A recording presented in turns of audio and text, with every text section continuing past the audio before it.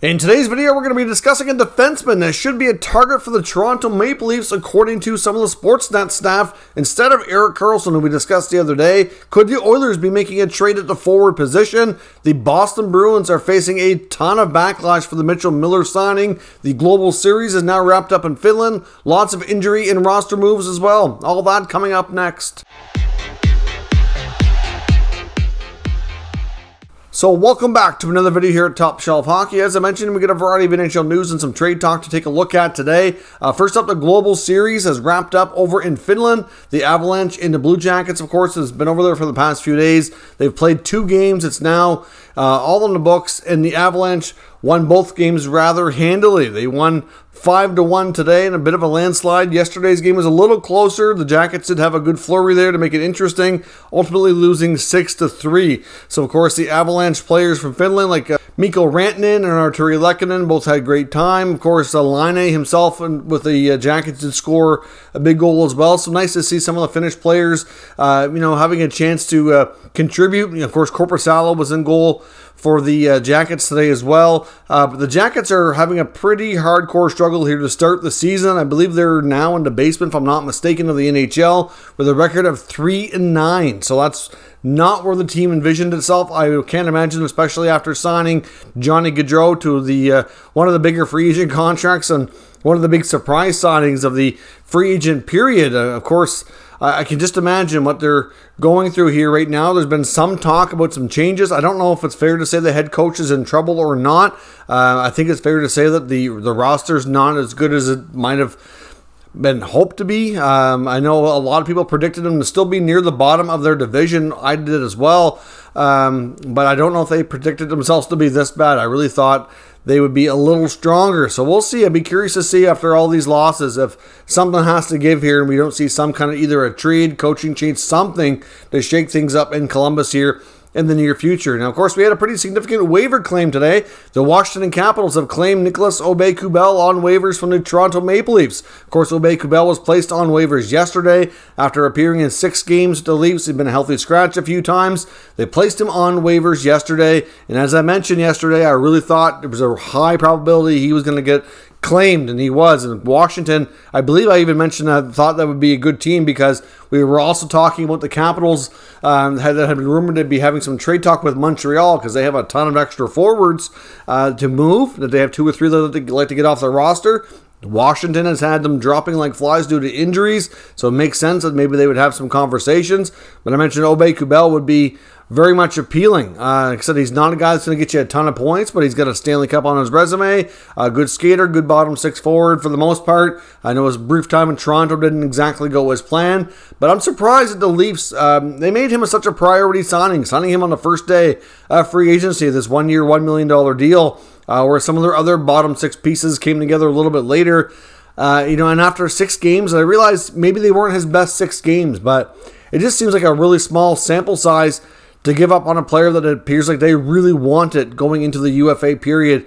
Um, and now, again, which has been a recurring thing for the Leafs the past two, three years, they tend to lose a lot of players on waivers because they have so much money tied up in their most expensive, most elite players that the supporting cast is generally for the most part, you know, shorter term deals uh, that they need to kind of re- kind of refine them basically every year. These deals to make everything kind of jive and to put together a good roster. And Aube-Kubel looked like a great signing on paper, but again, they lose another player to the waiver wire. So we'll, we'll see how he works out in Washington. He should be able to get a bigger opportunity, bigger role there, given the amount of injuries that they have been dealing with. Now, as I mentioned. The Boston Bruins and the Mitchell Miller signing is absolutely blowing up in their face today. Uh, started already yesterday when the news broke. Lots of backlash, lots of you know negative reactions, you could say, and it just continued today. Um, I do honestly wonder, I seriously wonder if there's any chance for Mitchell Miller to really honestly play in the NHL. And I think the Bruins just did a, a major damage to their reputation here by even considering signing this player. Now, I know Don Sweeney himself even said that you know, they had some concerns and they wondered if it was the right thing to do. But at the end of the day, other teams were interested. So if somebody else was going to sign him, why not the Bruins? Well, it's because of this kind of reaction exactly. I mean, even Don Sweeney talked to a lot of their veteran players, and they were not impressed with the idea either. I mean, Patrice Bergeron spoke today. I heard Nick Foligno. Uh, Bergeron said he was kind of on the fence, but wasn't crazy about it. He said it goes against everything they've built in their culture during his tenure there in, the Bruins organization. Um, you know, he said essentially if if the same player walked into their dressing room now, that you know there, there was no change. For example, it's still the same kind of 14 year old kid that had made massive errors and got himself into some big trouble before he wouldn't be welcomed at all. Uh, you know, flat out. I mean, Nick Foligno said it was tough for the players to swallow when they heard of the signing. Uh, they said in the past week they were asked their opinion, uh, and even with the negative reaction of the players, they still went ahead. Even Gary Bettman weighed in on this as well today. Of course, he's over for the Global Series overseas, and uh, he was asked about it, and he said that the Bruins uh, did not discuss this signing with the head office at all. Um, he certainly had their concerns, and he said that as of right now, Mitchell, Mitchell Miller is not eligible to play in the NHL. So they said they're at free will to sign him if they wish, but he and obviously to sign him to play in another league. So I do wonder. I would think that their goal here is to probably get him into the American Hockey League. Now, yesterday, I do want to correct something as well. When I was talking about Mitchell Miller yesterday, I said that he had a big season last year in the NCAA. That's not correct. He wasn't playing in the NCAA. He was playing in the USHL. Uh, so that was my mistake. I'm not sure why I said NCAA. I didn't know where he was, uh, but for some reason, I just said the wrong, uh, the wrong league. But at the end of the day, you know, he hasn't played yet this year. So um, they want to get him playing, obviously, if he's going to be a member of their organization. And generally, between the uh, the minor leagues to the NHL, like the NHL, the AHL, the ECHL, if you're not welcome, you're suspended in one league, then you, the, the, other leagues don't generally let you play there either. Now, I don't really know if it's fair to say he's considered a, a suspended NHL player. I'm not really sure, but Bettman called him ineligible. So if he's ineligible there, I would think the American Hockey League will probably take the same stance. If they do, they might have a hard time getting this guy even to play somewhere. They might have to find a team or a league over in Europe or something. I don't really don't know. But I mean, I've seen numerous scenarios online with fans contacting the Bruins with their uh, writing their email letters stating how upset and uh, you know, mad they are over this uh, signing. Uh, so the, the, fans are outraged. Media is not happy about it. They're giving the Bruins a hard time. The players were not happy about it. The NHL wasn't overly thrilled about it. I just don't understand why they felt the need to do this. Even Bettman said not only is he not eligible today, he can't say with any certainty that he'll ever be eligible. Uh, so they're going to want to see a lot from this Mitchell Miller guy before he can ever step foot in the NHL, which it's debatable if that's ever even going to happen. So I, I, really don't know why the Bruins did this. It was a really poorly made decision, in my opinion. They had so many people telling them it wasn't a good idea, yet Don Sweeney and Cam Neely moved ahead anyway. So uh, they're getting a ton of backlash, and it is all well earned. Of course, they're also in Toronto tonight to play the Toronto Maple Leafs.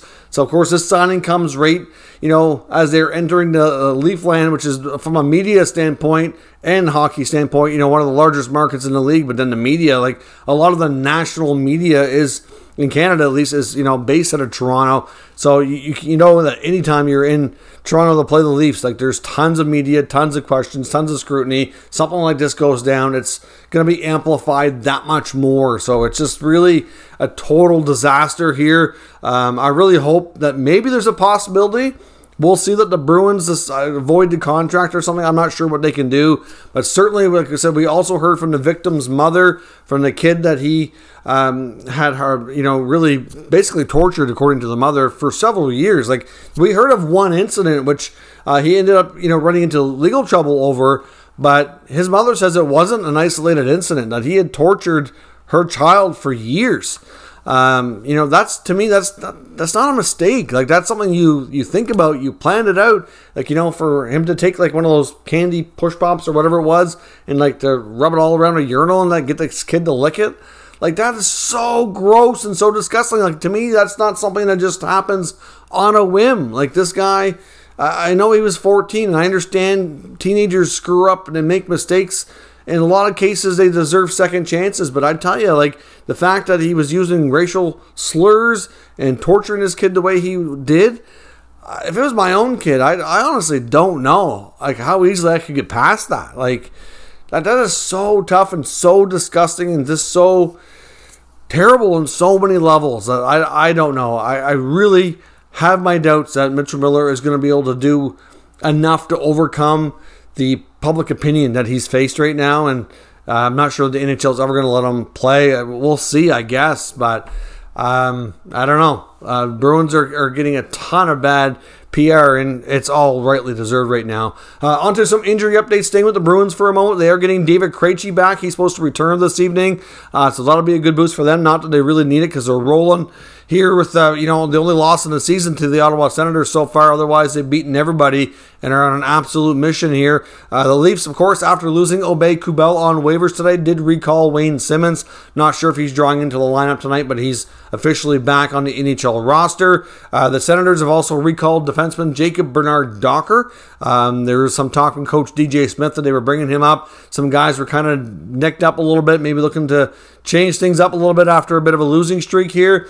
Uh, they also said that he wasn't necessarily going to jump right into the lineup, and apparently it doesn't look like he's playing tonight uh, as they do battle with the Philadelphia Flyers, and of course it'll be uh, Claude Giroux's first game against his old team.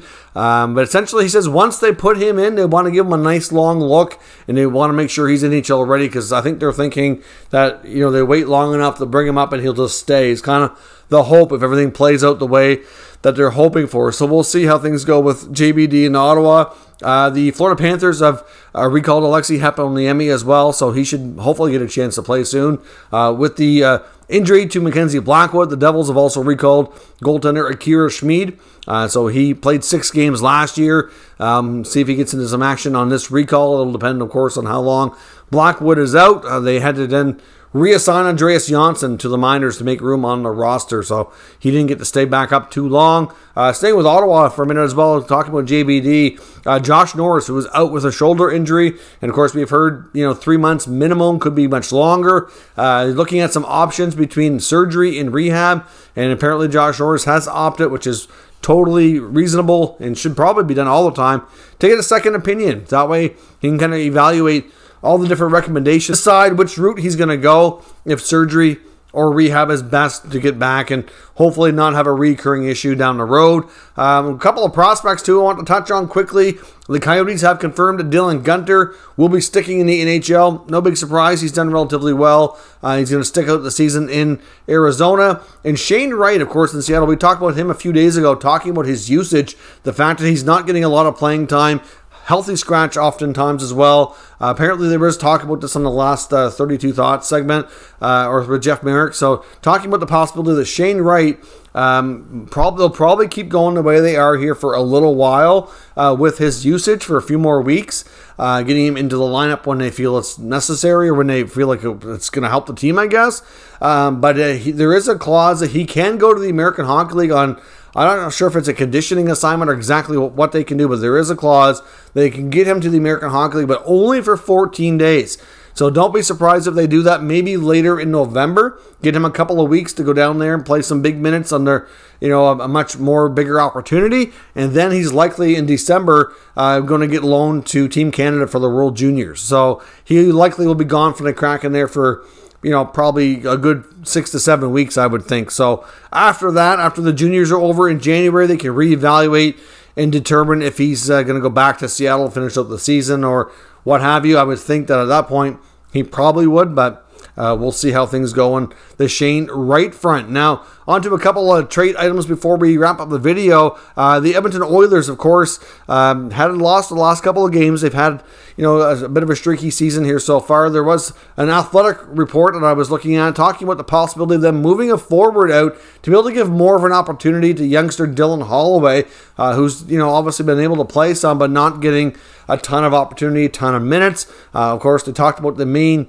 candidates that you would likely see in that category, which would be Warren Foegele, uh, Kailer Yamamoto, or Jesse Puljujarvi, and they list uh, Foegele being the most likely. The fact that Yamamoto signed beyond the current season likely keeps him in Edmonton, and a lot of people are convinced, uh, based on all the different metrics and advanced stats, that Jesse Puljujarvi is uh, somebody who can help the Oilers regardless of what his uh, scoring stats are. He can play uh, more of a two-way game, and his numbers are are good analytic wise to show that he doesn't, you know, give up a lot on the ice. So certainly Foegele appears to be the more likely player if they were going to do something like that. I'm not entirely convinced that they would or should right now. And I do understand this team has kind of had its moments this year where they've been really good and unstoppable, and other times when they uh, just you know have had some rough games.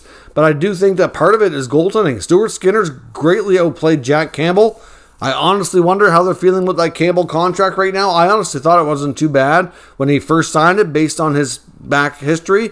Uh, a little concerned over the term, but I didn't think that the uh, contract would be considered bad right away. I thought it might be, you know, a year, a couple years down the road might be when it starts to look a little different. But we're only a month into this, and he hasn't had a good start during his time in Edmonton. I mean, he hasn't been awful all the time, but he's had his games where it's just not there. So they, they need more from Campbell, and uh, I do think that that's uh, probably a bigger concern. But at the same time, uh, you know, with the way this team is structured, as much as Holloway, you know, you could make an argument that he might deserve to play a little bit more, but you don't want to really mess with your depth too much in a season when you're hoping to once again be a playoff team and hopefully again go on a longer run. So I'm not so sure we're going to see this move unless they really find a major opportunity for maybe a multiplayer swap where they can upgrade and feel like they're really a much better team at the end of the day. I don't know as much as they want Holloway to to maybe have more of an impact. I'm not sure that giving up some depth is the way to do it. Now, when it comes to the Maple Leafs, uh, we talked about an article uh, a few days, or actually yesterday, about Erik Karlsson maybe being uh, a trade piece in San Jose, considering the hot start he's had, with the fact that you know the team itself isn't going to be a playoff team this year. They're going to be one of the bottom teams of the league, most likely.